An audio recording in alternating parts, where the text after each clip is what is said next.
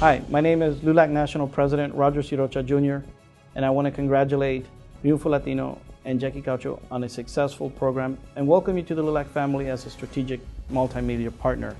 It is because of you and the success stories that you focus on, Jackie, that we will now see maybe in the future the next U.S. president be a Latino. Thank you for what you do. We appreciate it and welcome to the LULAC family.